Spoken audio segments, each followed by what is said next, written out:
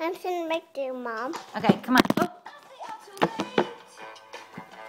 Nothing on my brain. We want to say happy birthday, Casey. Can you say happy birthday, Casey?